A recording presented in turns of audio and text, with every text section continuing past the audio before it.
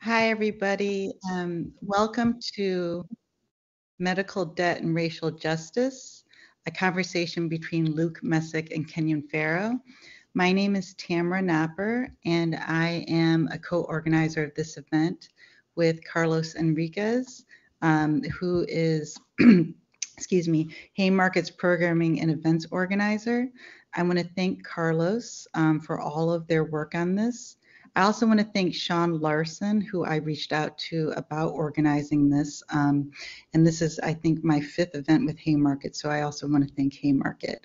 Um, and I also just want to thank quickly Amanda Lundberg, who will be providing the live closed captioning. So, medical debt and racial justice. Audre Lorde is often talked about as a proponent of self care. Her famous words, quote, caring for myself is not self indulgence, it is self preservation and that is an act of political warfare, are published in our book, A Burst of Light. The book contains a journal entry from November 8, 1986. On this day, Audre Lorde wrote, I saw the specialist in liver tumors at a leading cancer hospital in New York City, where I had been referred as an outpatient by my own doctor. The first people who interviewed me in white coats from behind a computer were only interested in my healthcare benefits and proposed method of payment. Those crucial facts determine what kind of plastic ID card I would be given. And without a plastic ID card, no one at all was allowed upstairs to see any doctor, as I was told by the uniformed pistol guards at all the stairwells. The politics of navigating healthcare systems and its cost is a topic that many committed to racial justice have addressed, including W.E.B. Du Bois, the Black Panther Party, and one of the Black Panther Party's key organizers, Fred Hampton. In a 1969 speech delivered at Northern Illinois University, Hampton talked about the Black Panther Party, Black Panther Party's People's Free Medical Clinic opened in Chicago's West Side. He explained its location. He said it was, quote, because we know where the problem is at. We know that Black people are most oppressed. This clinic served everyone. As Fred Hampton said, the only prerequisite is to receive free medical care is prerequisite that you be sick. And so this is something that we're going to be thinking about tonight, the kind of cost of care, but also who's most likely to be impacted by this cost of care. But we're going to also think about how racial politics inform kind of the design of healthcare systems and the cost to everybody in the society. As Toni Morrison said, quote, no policy decision could be understood without the Black topic at its center, even or especially when unmentioned, not housing, not education, the military, economy, voting, citizenship, prisons, loan practices, healthcare. Name it, the real subject was what to do with Black people, which became a substitute term for poor people. Tonight, we'll explore the issues raised by Lorde Hampton, Morrison, and others to consider the state of U.S. healthcare and the ongoing crisis of medical debt and how addressing these issues are connected to racial justice. We are joined by two experts and advocates who can help us navigate through this current crisis, Luke Messac and Kenyon Farrow. Before, we, uh, before I introduce them, I just want to note that the issues of healthcare infrastructure and healthcare policy are being put front and center by what is happening in Gaza and to Palestinians there. um, sorry. I have no words to describe the horror of what is happening there in terms of why people are being rushed and seeking refuge in the hospitals. And I have no words to describe the care and commitment being shown by brave healthcare workers and all of those who are becoming essential workers of some type, whether it's digging through the rubble, rescuing neighbors and strangers, and trying to help themselves and others survive the slaughter. Sorry. so let me now introduce our two uh, uh, speakers, Kenyon Farrow and Luke Messac. Kenyon Farrow is a writer, editor, and strategist whose work has long focused on public health and infectious disease with a focus on racial, gender, and economic justice. He is the vice president of policy with Point Source Youth, a national organization working to end youth homelessness. He is the former managing director of advocacy and organizing with PrEP4All, and also served as senior editor of thebody.com and thebodypro.com, and US and Global Health Policy Director with Treatment Action Group, TAG. He currently serves on the boards of the LGBT Center of Greater Cleveland and New York Transgender Advocacy Group. Luke Messac is an emergency physician and a historian. He is an attending physician at Brigham and Women's Hospital and an instructor in emergency medicine at Harvard Medical School. He received his BA from Harvard University, his MD and PhD from the University of Pennsylvania, and completed residency training in emergency medicine at Brown Rhode Island Hospital. His research focuses on the history and political economy of healthcare, as well as on diagnostics for emergency care in resource limited settings. And his first book, No More to Spend, is a history of medical neglect and exploitation in Malawi. His latest book, his newest book, um, which will be part of the uh, centerpiece of the conversation between uh, Luke and Kenyon, is um, Your Money or Your Life Debt Collection American Medicine. Um, and it came out this month um, on Oxford University Press. So uh, again, thank you everyone for joining us. Thank you Haymarket Books for um, uh, hosting this. And thank you, Luke and Kenyon, for what I know will be a very informative conversation. Thank you. Great. Uh, thank you so much, Tamara, for the introduction. And thank you to Haymarket and to uh, Carlos and Amanda also for helping support uh, this event. Uh, so I'm just going to do, before I uh, get into my questions, just so people know what, what the book looks like, uh, to take a look at it and and to purchase after this conversation if you don't already have it. Um, so Luke, uh, first I just want to say congratulations on the publication of the book, and you know having read it, um, I have to say not only is it like full of great like information, but um, it's also good writing. Like it's such good writing. Thanks, know, Kenyon to cover these kinds of uh, you know kind of complicated issues you know in terms of talking about healthcare it's hard to pull off so um, i just want to commend you for that uh, number one thank you yeah and um, so to get into the discussion you know you really lay out a clear history of how medical debt isn't a new phenomena right although it, it feels like it's been a lot in the news in the last you know kind of 15 years or so, 10 or 15 years, particularly since the, you know, kind of um, start of the Affordable Care Act or the sort of battles around uh, that piece of legislation.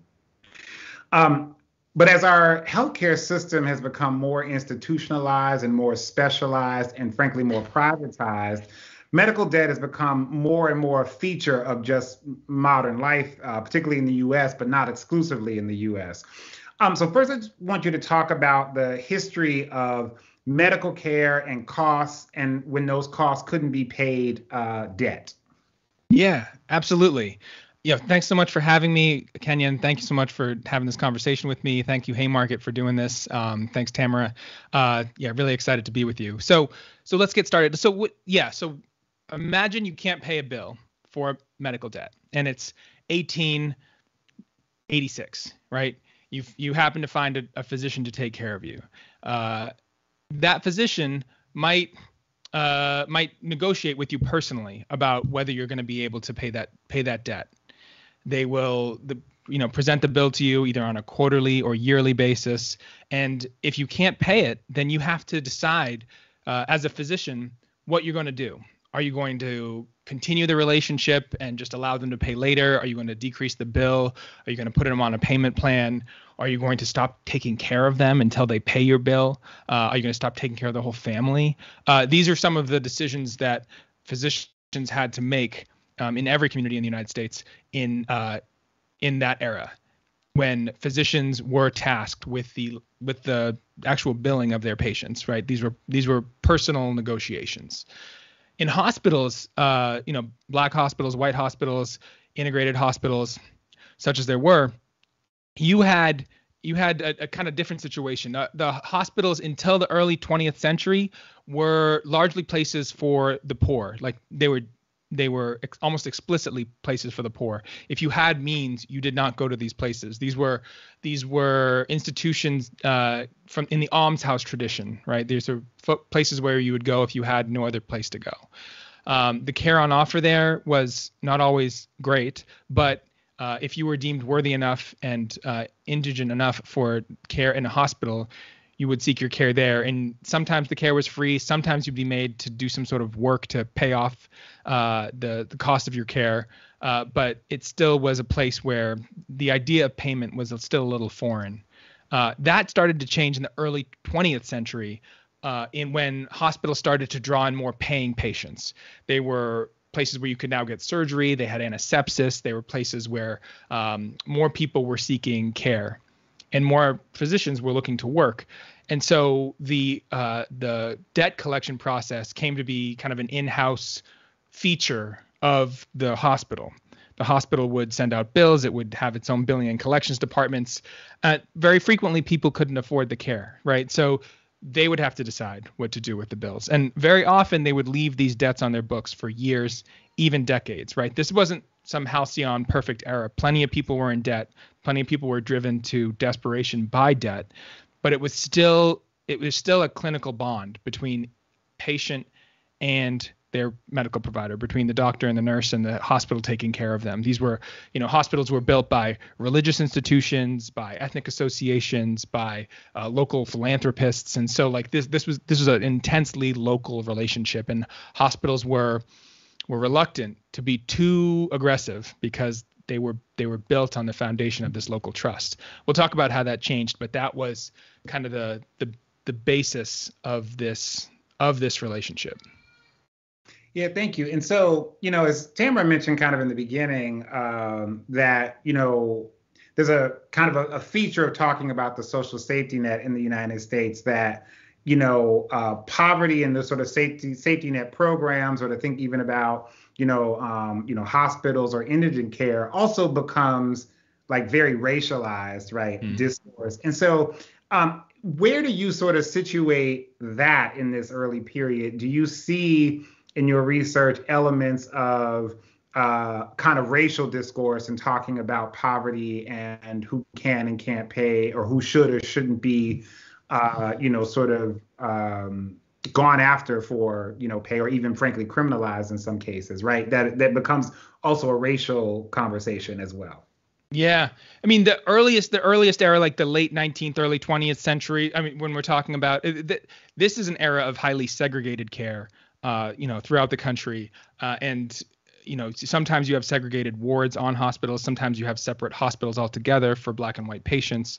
Um, and physicians themselves, if they were in private practice, had it, it was up to them to decide who they would take care of, um, whether they would take care of white patients, whether they would take care of black patients, whether they would take care of both. Uh, and and we don't see all that much discussion explicitly in the literature about uh, who was being who was being taken to court, who was being, uh, you know, pursued aggressively uh, for debts. But there was, in general, a sense that you you you wouldn't you wouldn't always get care to begin with, right? If you weren't um, if you weren't deemed worthy enough for that care. Uh, there was a, a, case in the there's a case in the 30s when um, a gentleman brought his young daughter to a hospital, uh, white white uh, man brought his young daughter to a hospital in uh, and and she had diphtheria, which is a, a, pretty horrific disease. It basically coats your mouth and your throat in this white film uh, that slowly suffocates you to death. It's really terrifying.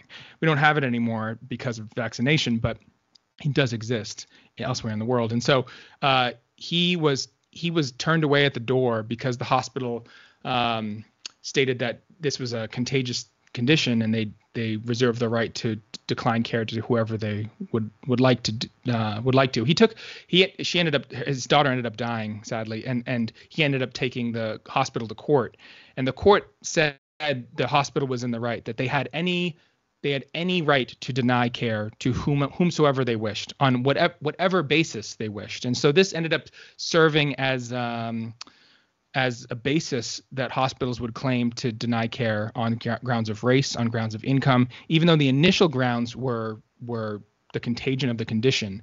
Uh, hospitals would use this this logic from this one precedent uh, to justify not taking care of whoever they would like. Thank you. Um, so, you know, moving forward into the 20th century, um, when we really start to see, kind of as a result of the uh, various kinds of like public health reforms, and then the New Deal, and then into the 1960s, the civil rights movement, um, you know, kind of reforms that happen in terms of public health and how, you know, healthcare also is uh, administered.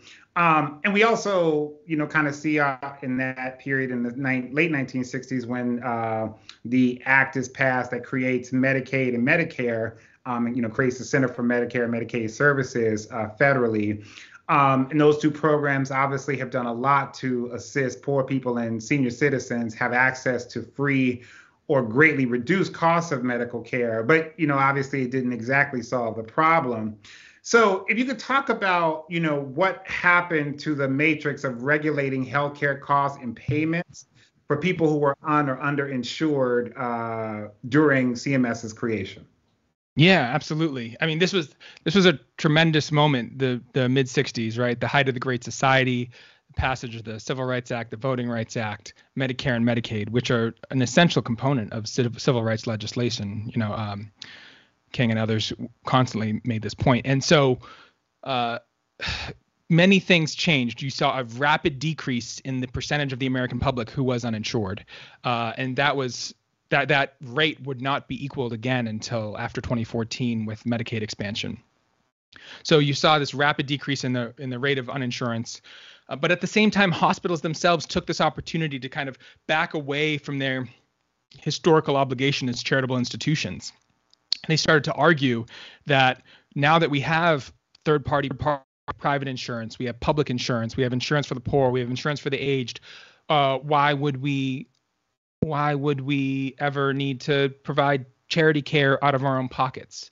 Uh, and so you know they they they argued successfully to the IRS to change the standard of tax exemption for a charity hospital for a nonprofit hospital that they no longer had to provide charity care to the extent of their ability, which was the previous standard, and they would they could lose their tax exemption if they didn't do that. Now they only had to uh, provide some level of community benefit, and that that benefit could be very broadly construed. It was very broadly construed.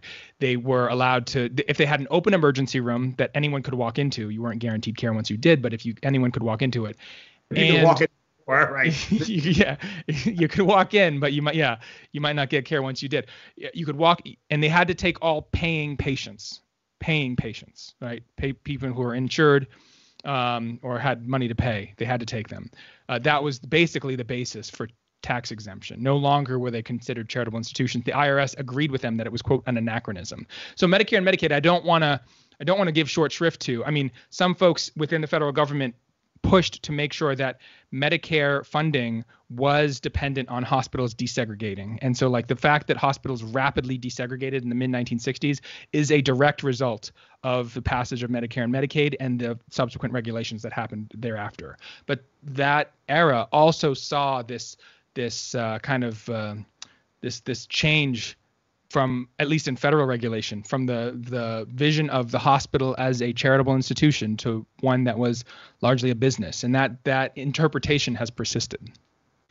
What role do you see uh, some of the kind of associations um, so for instance the american medical association which you know a lot of people think of the those kinds of associations as fairly benevolent you know but but you know, you and I both know that the AMA has also been historically involved in some of the most conservative uh, lobbying around uh, healthcare. And so, what role was the AMA playing uh, at this particular juncture, right, in the 60s, as uh, you know, changes in, in the kind of healthcare payment infrastructure, Medicare, Medicaid, and then you know the private market, you know, was there. What what role were AMA or other associations sort of playing at this time?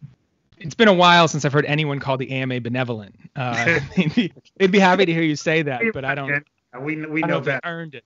Yeah, yeah, yeah. So I mean, this was the AMA, the American Medical Association, the largest association of physicians in the in the United States. Although one to which many physicians do not any longer belong. I, I never I never did it, and I never will. But um, the they were adamant opponents of Medicare from the start. They uh, they organized against it. So in the early 1960s, there was this bill uh, by a congressman in Rhode Island named Aime Forand who put forward basically what would become Medicare.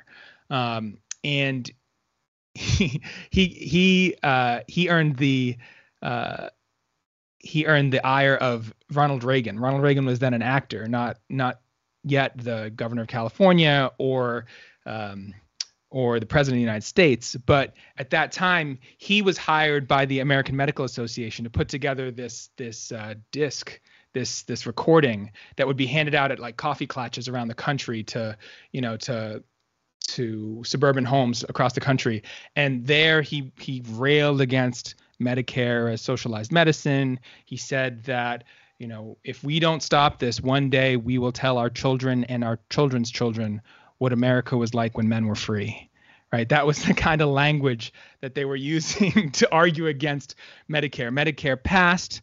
Um, you know, Johnson and, and the administration and Congress were able to pass it, and it became one of the most popular programs in America. And to say that stuff about uh, Medicare now would, would definitely not win you votes. But you know, you got to know that at the time they were adamantly against it. The his- history of organized medicine and the AMA in particular is a history of vocal, consistent opposition to uh, national health insurance, to single payer. Um, fortunately, we're starting to see that change a little bit. Uh, we're seeing some of the larger medical societies come out either saying they're no longer going to oppose uh, single payer or they're in favor of single payer. The AMA is not yet one of them, but there are some changes afoot. Uh, one more note is that the American Hospital Association, like very powerful then and now, and they um, they were some of the folks pushing for uh, pushing for this change in the law about what what earns you a tax exemption, right? So they maybe not so vocal in their opposition to Medicare and Medicaid. It did garner them some additional funding, but they wanted to make sure that they were not going to be tasked with the care of the uninsured uh, that that wasn't going to be something that they were held responsible for. Yeah, so you know, you said a couple things there that are interesting to me. That you know, one, the role that Ronald Reagan played in uh, you know trying to you know undermine uh, you know the passing of the uh, you know Medicaid and Medicare um, you know the bill that created those two programs. Um, and then we obviously see Ronald Reagan become governor of California and um, actually initiates one of the first uh, tries to reform uh, or ultimately gut welfare as we know it, right? Mm-hmm. The in fact, what happened in the 1990s in the Clinton administration was actually in some ways the model that Ronald Reagan wanted to pass uh, in California, and which Nixon, if I'm not mistaken, opposed, right? Um, mm. At the time, but but so by the time you know Medicare Medicaid is passed and we get into the um, post civil rights era, um, we see that the public insurance programs, right, and the safety net programs overall are beginning to be stigmatized and and and racialized, right, in the the public discourse. Um, and as you just mentioned, you know, hospitals beginning to deny care to, uh, you know, poor people, um, and particularly uh, force poor and black folks into um, public hospitals that were often underfunded and overwhelmed, right, in terms of dealing with uh, the kinds of uh, uh, the capacity to deal with those the kind of healthcare issues uh, in communities. So one of the things that sounds like you're saying in the book uh, is that the increasingly host- increasing hostility to poor and Black people by hospitals and healthcare establishments is in a way a, a, kind of backlash to the civil rights movement, right? Um, so I just want you to say more about that. Yeah, that's a great point. Uh, the the era of expansion of insurance under Medicare and Medicaid did spawn a backlash, and like you said, Ronald Reagan was a huge part of that. During the 70s, when he was first running for president, he was running on the idea of welfare queens, living large off the public dole. In the 80s, when he presided over some of the uh, restrictions in Medicaid eligibility uh, and declining reimbursements for Medicare and Medicaid patients. Uh, he said that the whole point was to make sure that no one was taking advantage of the system, and that you know the heavily racialized language throughout, uh, and, and that really did cause massive amounts of pain. I mean, in the 70s, you'd already seen waves of public hospital for uh, public hospital closures, and so the places where folks would go if they didn't have means to pay were became less and less available. In the 80s, you saw a continued decline in the number of hospitals in the places where people could go. The number of hospitals decreased by almost 10% during the 1980s, in part because it became much harder to fund hospitals, safety net hospitals, with Medicare and Medicaid patients. They just weren't paying the costs of care. So one of the that that that was a huge spur towards hospitals to turn towards more aggressive debt collection as well. This is where like debt collection comes into the picture again because hospitals weren't making as much money off the paying patients. They looked at their non-paying patients or their self-pay patients as they called them. They said we got to get more from these folks. And at the same time they were being approached by debt collection agencies who promised them promised them that they could help make good on those payments. They said your your job is not to approach these individuals and ask them for money. That's not what you guys are good at, right? Hospitals agreed. Their they their billing and collection departments were built to deal with insurance companies. They want to fight with insurance over adequate reimbursement. That's what they're that's what they do every day. They don't want to make individual collections phone calls or lawsuits. But they ended up hiring out these third party collection agencies because the promise was that they would do it for them. Uh, so that was a, a huge, like a huge moment. The 1980s, the the retrenchment in public spending, the austerity that led hospitals into financial distress, did precipitate, help precipitate this turn towards more aggressive collection.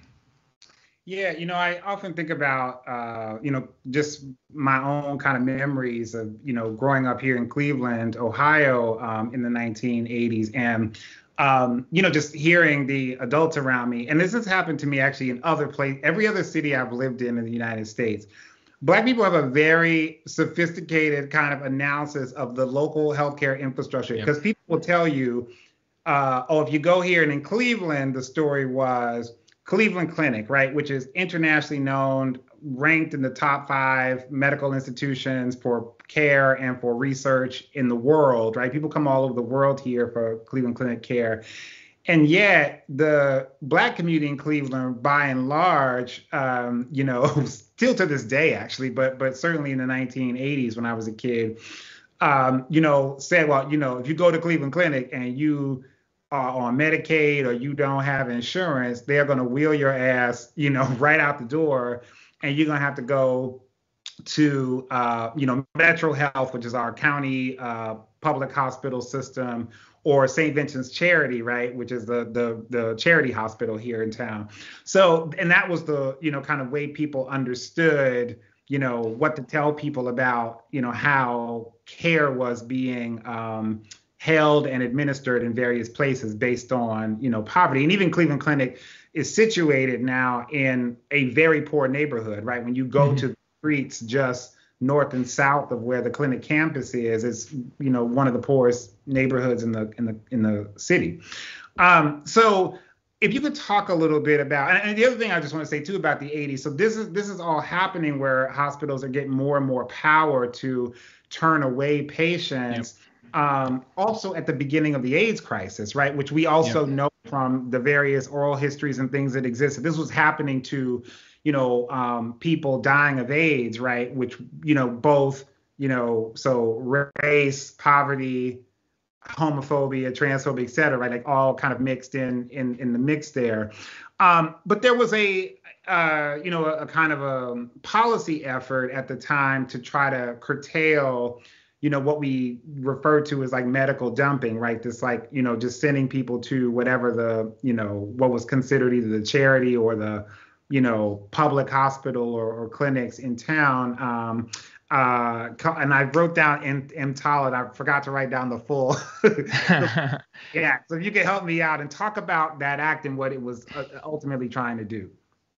Yeah, absolutely. Yeah, I mean those those judgments, that local knowledge about where you would be welcome and where you would not be welcome, were well founded. That that people aren't making that stuff up. That's real. Mm-hmm. Uh, and in the early 1980s, we talked about some of the retrenchment in Medicare and Medicaid, um, and that spurred some real increase in this practice of patient dumping. Patient dumping, also known as economic transfers, was a practice whereby you walk into the emergency room or you walk into the hospital and you have what's called a wallet biopsy done. They ask you for your insurance or they ask you how you're going to pay. If you can't produce evidence that you will pay or that you have insurance that will pay, then you are transferred prior to stabilization to the public hospital. So you're tra- transferred from the private hospital, even a nonprofit private hospital, to a public hospital. This was a phenomenon that people were seeing all across happened right cuts to Medicaid in Chicago, started tripling that summer, 1981. A few years later, people were writing about it in California, uh, and the studies that were done on it were just really, really damning. They they were transferring hundreds of patients every month, never for a medical reason, and sometimes explicitly saying because you know no insurance. Problem with this many problems with this. One, you should treat the patient in front of you. Second, is that they they were transferring patients in active labor. They were transferring patients who were hemorrhaging to death. They were transferring patients who were actively septic, who were sick. These are not patients who are stable for transport. I work in the emergency room, right? Like our our whole goal is diagnosing and treating people as quickly as possible because we know that minutes count. Minutes count in a heart attack, minutes count in infection, minutes count in stroke. You lose those minutes, you're never going to get that patient back to where you want to get them. So the idea of transferring them prior to stabilization is just medically um, horrific, to be honest. So it was happening all over the country. Eventually, uh, a story came out about Eugene Barnes, a 32 year old black man who had been stabbed and sought care at a hospital in Oakland and was denied care and ended up dying. And he helped his his cause his his story helped spur local activism and then uh, Pete Stark who is the Democrat from California who represented the Oakland area wrote the Emergency Medical Treatment and Active Labor Act EMTALA which was rolled into an omnibus bill and then signed by Reagan uh, in 86 this was a big deal. It says that hospitals have to treat and stabilize you prior to transfer, and that that transfer has to be justified on some medical grounds. We still live with that today. That's something I have to do every time I transfer a patient. I need a form to to justify why I'm doing it. It's a good thing. Only thing is, it didn't come with any funding. It didn't. It was an unfunded mandate, and so it left hospitals with more of an obligation to patients, one that was direly needed, but one that didn't help them to fulfill that mandate. And as a result, debt collection once again reared its ugly head. Uh, you know, if we can't collect, if we can't keep them from coming in, then we have to collect on the way out, and we have to do it uh, sometimes as aggressively as possible. Thank you. So uh, you're going to get to the, the debt collection, but trying to you know kind of lay out the yeah. system issues that would like lead lead to to debt here. Um, so we talked a lot about the public programs, right, and to Medicaid, Medicare, and kind of some of the regulatory changes that you know happen that um, uh, and the backlash of those programs that impacted you know care and you know continue to squeeze you know poor folks uh, in such ways that care became less accessible and therefore they would have to uh, they would owe more more debt when they were able to seek care. Um, so I want to talk for a second about the the uh, private market, right, which um, we haven't really talked much about. So, you know, at this time in the 1980s, there's also this kind of shift in the private market where we see the rise of HMOs and managed care plans to cut costs primarily for employers um, who carry health insurance plans for workers. So, how do these changes in the private market, you know, um, we're talking not just about you know, kind of, you know, poor and maybe unemployed or indigent folks, but folks who are are working, you know, working class folks, um, you know, who then are expected to pay more out of pocket, and their their kind of options in terms of what what care, where they could go, whatever, get kind of um, shifts because of like the the private market in terms of HMOs and managed care plans. Yeah, yeah, this is great. I mean, this is really a story of political economy, right? Where where do where do hospitals and and providers get the money when patients seek care?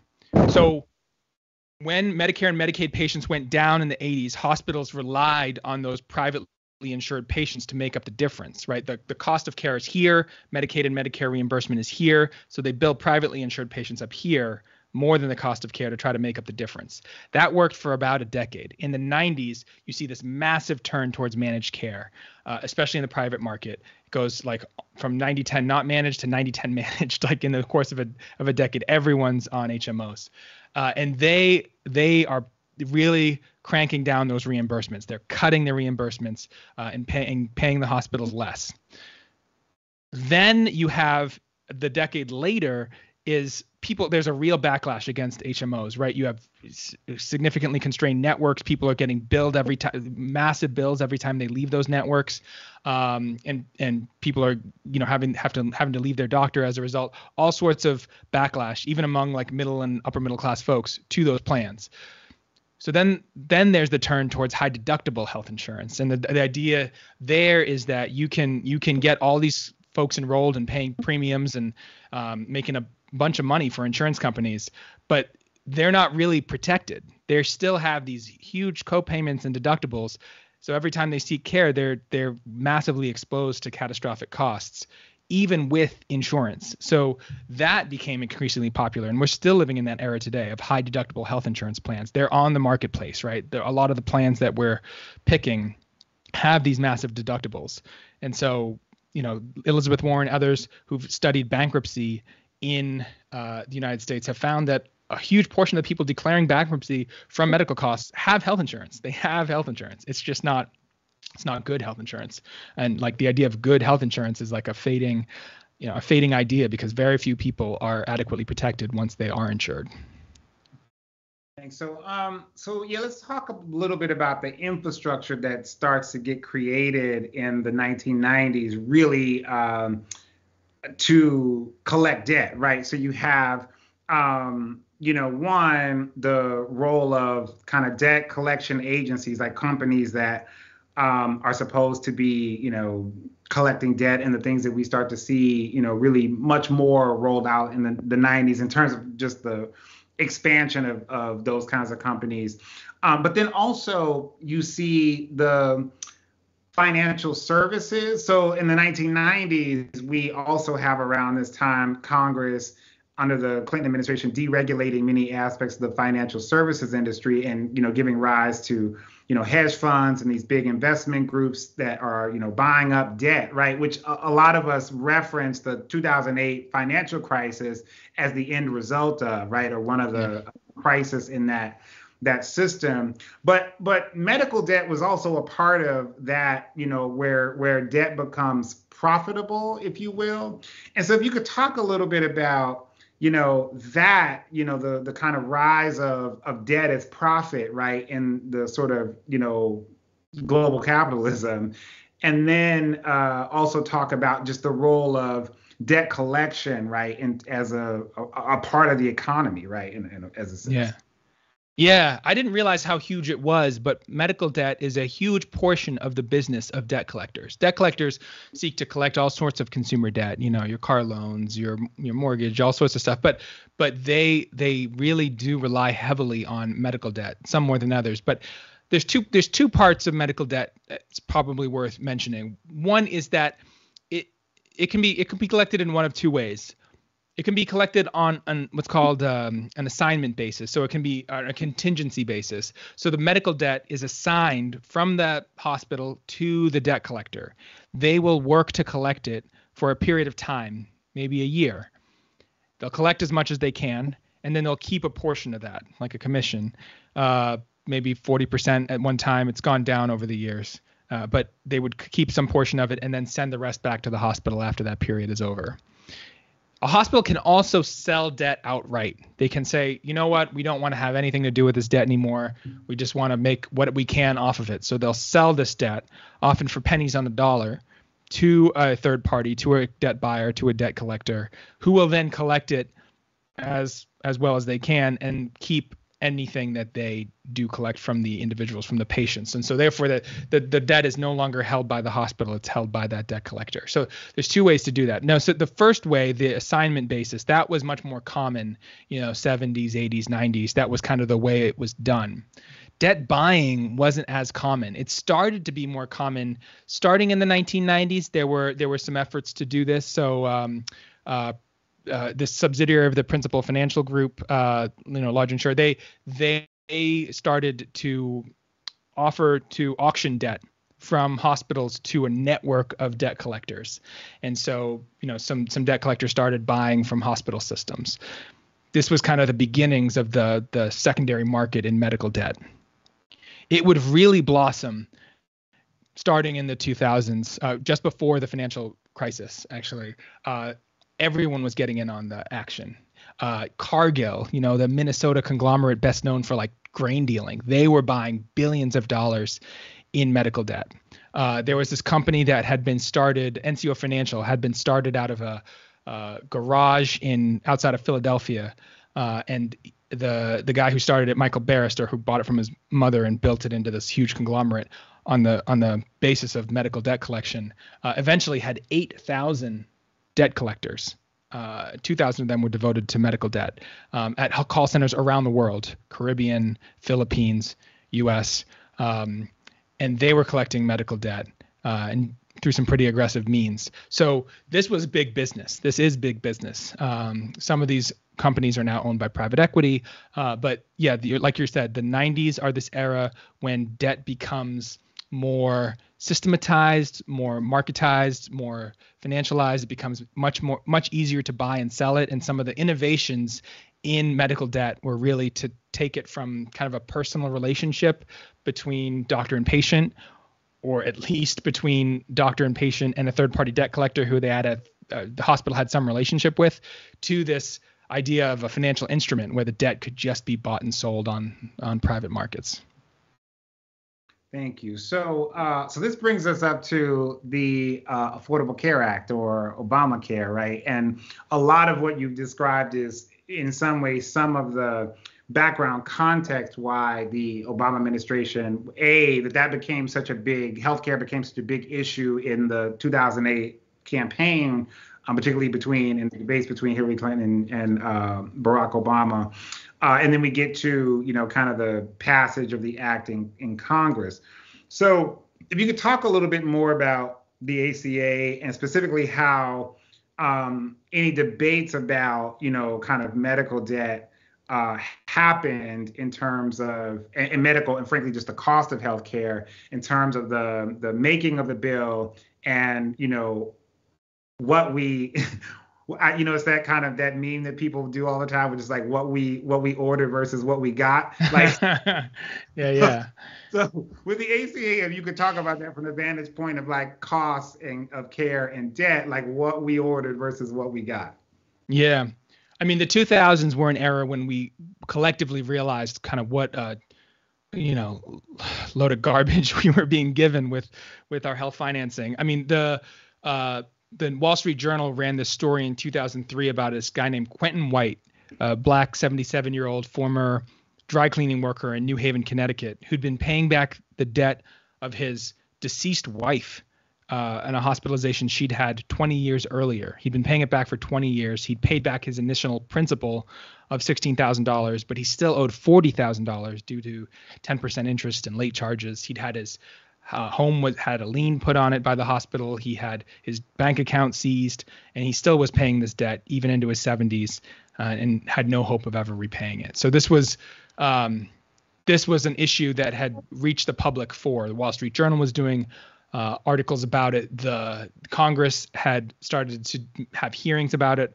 Um, there were even class action lawsuits against hospitals for not doing enough for charity care. But they were still, you know, there there was not much protection in the law for folks in medical debt, and there was still a huge portion of the population who was uninsured. So one of the things the ACA did was it expanded Medicaid eligibility so that people around the country were supposed to uh, be eligible for Medicaid up to 133% of the federal poverty level. It's like $40,000 for a family of four currently. Uh, and then above that, up to 400% of the federal poverty level, they were going to get subsidies to help pay for it if they didn't get outright Medicaid coverage. That didn't happen the the Supreme Court ruled in the Sebelius decision in 2012. Justice John Roberts wrote this decision stating that the the individual mandate portion of the Affordable Care Act, the one that was like the subject of all the controversy that we heard about in the news, that was legal. Yeah. That was constitutional. But the part of the Medicaid expansion that said it was going to be nationwide, that was unconstitutional. States had a right to refuse it. So even though it was funded 90% by the federal government, states could refuse it. Now, this is where race enters the picture again, unavoidably in the analysis, because almost all the states that ended up declining it. I mean, initially there were about half the states that declined it, and they were the the red states, as you might imagine.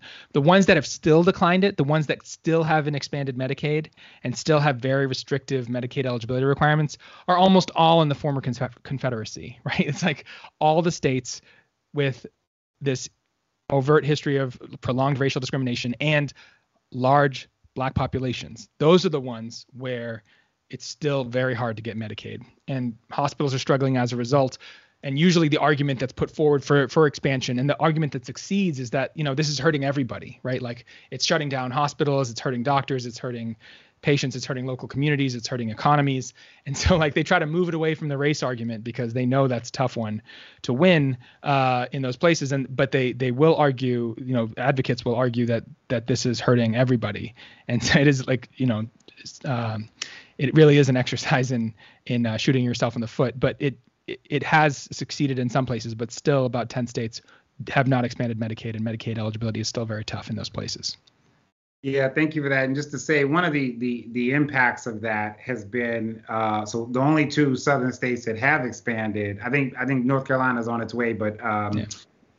Arkansas and Louisiana, and you know, coming from my vantage point, doing a lot of public health and HIV work. So Louisiana, Baton Rouge, and New Orleans for 20 years would flip between number one and number two HIV diagnoses in the countries as far as cities mm-hmm. were. And the minute that Louisiana expanded Medicaid, um, the rates of HIV start to drop in the state, completely attributed to Medicaid expansion. That's wow. period. In the South, it is all it just in general. Uh, the place where about half of, of HIV diagnoses um, still still happen. So it, it, it, had like major impacts. Hmm. Um, hmm. So thank you. So I want to focus yeah on kind of the you know the, the impacts of, of this uh, before we turn it over and look at some questions from the audience. Um, so you know, one I want to ask you about. So as we've kind of seen that you know the ways in which uh, medical debt has played out, both kind of historically, ways in which uh, even the reforms, you know, to create, you know, Medicaid and Medicare, sort of public, uh, you know, public health insurance, um, and then the expansion even of the Affordable Care Act, right, even for the private market and, and creating more coverage through Medicaid, at least in places that accepted it. Um, that, that, medical debt is still uh, very much a problem in the United States. And, you know, I often think about um, that issue and some of the things that we've seen in the last roughly 10 years where of the kind of rise of the wellness industry or mm. you know the, the goop industrial complex as I would call it these like you know all these different you know kind of boutique brands of you know selling whether they be supplements or a range of uh, you know products that are supposed to you know because the FDA doesn't really regulate a lot of these things uh, as they should, I think. Mm-hmm. Um, but they, you know, people can put out products to make all sorts of healthcare claims.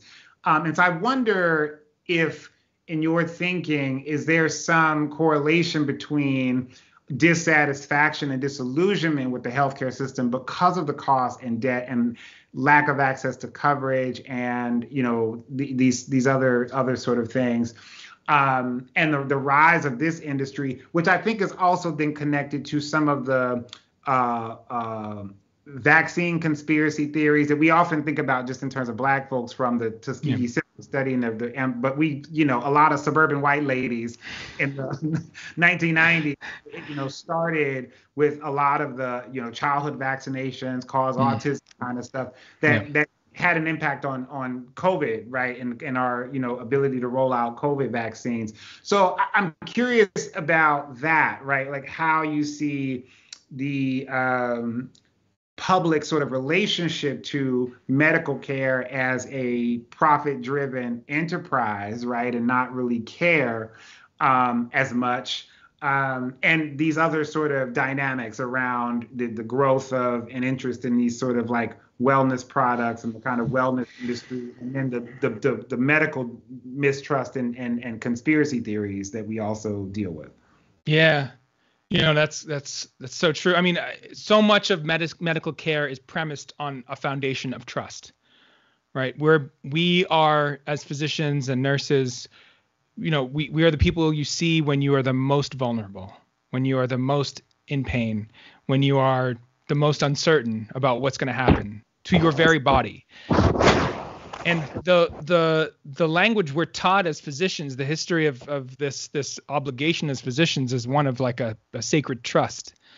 And yet you you open up the pages of any any you know um, uh, health finance management association journal or and, and even like the newspaper and you see that really the language of medicine is the language of like clients and consumers right we're not talking about these like sacred bonds that we have to hold true at, at all costs like it's it's no there are costs and if you don't pay them you will be denied uh, so people are denied care people are taken to court people are um, uh, people are people are uh, even put in jail if they if they can't pay their bills and don't show up for their court dates.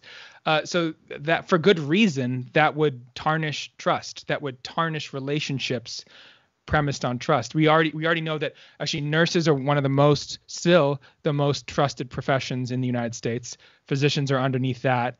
Still about like 70% of Americans say they trust physicians. Uh, but hospital administrators it's like 22% it's like not, no one trusts hospital administrators right they know what they they they suspect their motives might not be pure and maybe that's not fair to every hospital administrator but that is the kind of distrust that we risk falling into if we accept that language as as you know the way things are the way things have to be.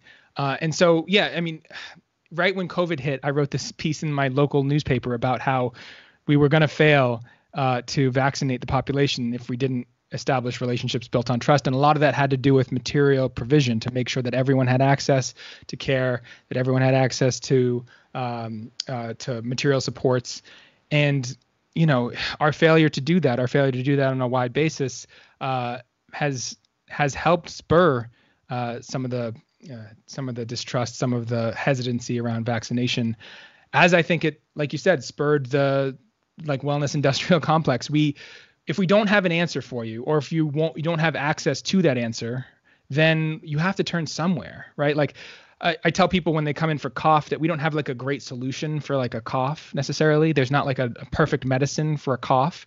And so basically that's why when you go to cvs there's like 20 cough medicines because none of them are perfect. And no one you know maybe some of them work for some people some of them work for others but like without a good answer it just spurs this this proliferation of like half measures. And so I think that's what we risk risk doing for the entire entirety of medicine. Like we have some great answers. I still believe in biomedicine. We have amazing cures. We have amazing treatments, um, but we we ration them by income, uh, and that that leads to profound and merited distrust. So to my last question, uh, you just kind of leaned into it a little bit more. So, um, you know, from your vantage point as a physician, you know, what is your vision, right, as a way to transform the system to lead to a health care system that's not driven by profit and profiteering? Yeah, I think single payer is a huge part of this answer, right? It's not it's not going to solve every problem, but it is going to solve many problems. We have a system right now that's built around a whole bunch of rentiers, right? A lot of middlemen making money off the system without providing much in the way of care. Uh, health insurance companies, you know, brand name drug companies that really profit off a lot of publicly funded research uh, for private gain. Um, f- pharmacy benefit managers, uh, you know, now we have private equity companies. It's it's it's a whole bunch of folks who are making a whole lot of money without providing providing care or helping to provide care. In fact, they're often keeping people from it. So I think single payer will cut out some of those middlemen, particularly the insurance companies. Uh, we don't need them. We've we've you know we have examples from around the world of countries that work much better without them. Uh, but we also need you know we we need that we need that to be a specific kind of single payer system. Like you can't you can't just you know privatize it through managed care and call it call it Medicare for all, right? Like even Medicare now is significantly privatized and privatized. starting Medicaid. to yeah. Medicaid too through managed care organizations through causing significant waste and uh, and difficulty with people accessing care. You know, they're they're taking things off the formulary. They're you know, there's so many people glomming onto the healthcare system because it's so there's so much money in it. Um, and taking their little piece. So we got to make sure that if we're going to build a single payer system, that it's truly single payer and truly publicly financed, um, and without you know without the realm of all these middlemen. There are some things going on right now that are helping to move us in the right direction. I think people ad- agitating and act, uh, advocating for Medicaid expansion in the places where it doesn't exist, they are doing good work that is completely necessary, and we have to support that. Uh, people who are helping to make medical debt collection less aggressive, at least, um, are doing good work. There's a move in Maryland uh, that passed some bills over the last couple years that prevents people from getting arrested as a result of medical debt. Not something I thought I would have to say, but doesn't exist in most places throughout the country. That law, um, you know, they can't put liens on your homes, they can't sell your debt, uh, and there's limitations on the um, on the lawsuits that can be filed. So, you know, should people ever be put in legal jeopardy for not being able to pay their bills? No, of course not. That's that's wild. The the fact that I'm telling my patient that they need to stay overnight because I'm worried they're having a heart attack and they're going home because they're worried that they're going to end up in court 6 months later, like I you can't provide good care in situations like that. So there are there are reformist measures that we can do right now, uh, but I think looking towards a single payer healthcare system is uh, really the way that we're going to eliminate this problem. Thank you so much. I really appreciate uh, being able to talk to you and walk through some of these things. Um, so uh, I'm going to move now to some questions uh, from uh, folks watching. So one of the first questions um, is from Elena, which is um, there are medical groups buying down, or there are groups, sorry, buying down medical debt. Can you advise which one of these orgs are best to contribute to in order to pay down medical debt, or orgs that folks should be paying attention to from an activist perspective? Yeah, there are some great groups doing great work. Uh, this idea of buying and forgiving medical debt was was first thought up by the the Debt Collective, or as it was known then, Strike Debt, this outgrowth of Occupy Wall Street. Uh, folks who've read um, Astra Taylor, David Graeber, uh, they know the work. Um, and that was a pretty, uh, at the time, revolutionary idea that you could buy medical debt and instead of seeking to collect on it, forgive it entirely. It helped expose the, the it helped a lot of us learn about this secondary market for medical debt that medical debt can be bought and sold and collected on by financiers who have no role in patient care. Um, since then, a lot of the folks who initially started this idea have kind of turned against it, saying that, uh, you know, at least as a, it can't be the last step, certainly. And even as it exists today, it still funds, you know, debt collectors. It's still, you're still paying debt collectors for that debt. And so it perpetuates a system that we really don't want to exist anymore. That said, it does provide people with immediate relief who are in debt.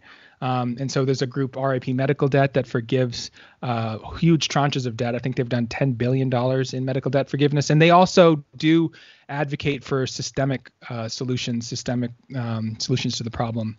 But I would say there's others as well. Uh, Dollar For is this organization that will help anyone apply for charity care, right? Every hospital that gets a tax exemption is supposed to have financial assistance. They will help anyone apply for that for free, right? So that those onerous forms that are crazy to think that someone who's sick and just got out of the hospital is going to be able to apply for it, uh, they will help you do it. So Dollar For, D O L L A R F O R, is a great organization too. And then the Debt Collective, uh, a great group that started all this many ways in in about a decade ago, they're still advocating um, on medical debt. You probably know them best for their work on student debt and helping to convince Biden to uh, propose student debt forgiveness. But they they've also done a ton of work with medical debt and are doing even more now. So I would say get involved in the Debt Collective. Help out Dollar For if you really want to help buy and forgive medical debt. Then RIP Medical Debt is there too. Um, but there are great groups doing good work. Thank you. Um, so uh, I think uh, we are probably pretty much done. I think that's all the questions that have come in um, from the audience. But I just want to give you an opportunity to, uh, if you want to tell folks uh, where they can uh, find you, if you put you know things out in the world in addition to books about your your analysis of of, of healthcare uh, systems so i'll give you an opportunity to name anything you want to uh, put out there yeah sure i mean yeah so this this book is basically a history of, of medical debt collection it chronicles some crazy stories people um, uh, really going through it, but also fighting back against the system. Um, I put out some articles in Jacobin. Uh, you can see articles about uh, organizing in medicine uh, and the history of uh, debt collection. I just wrote an article in The Nation about uh, about organizing in medicine and how the the idea of the physician as an independent professional is really fading away and how we become employees of large organizations and really what the physician as an employee m- means what, what how we how we can organize best in a system uh, where we really no longer control um, the means of production. Uh, so there's uh, those are those are some of the things but um, I, I, did try to take a turn towards the magazine world. I know kenyon's been in it for a long time but um, those are some of the folk some of the things i put out Great. Um, thank you so much. So I just want to say to folks uh, again um, to just check out uh, Your Money or Your Life uh, at bookstores everywhere, uh, online and in person. And again, uh, check out Luke's work. Uh, at any of the other publications that exist. And I want to just say once again, thank you to uh, Tamron Opera, to Carlos Enriquez, to Amanda Lundberg, and to Haymarket uh, for constantly, I think, hosting these kinds of conversations. Um, you know, with authors to really get to the um, you know core of some critical issues uh, happening in our our country and around the globe. So, um, thank you all for your work, and uh, we will see you at the next uh, event. Good night.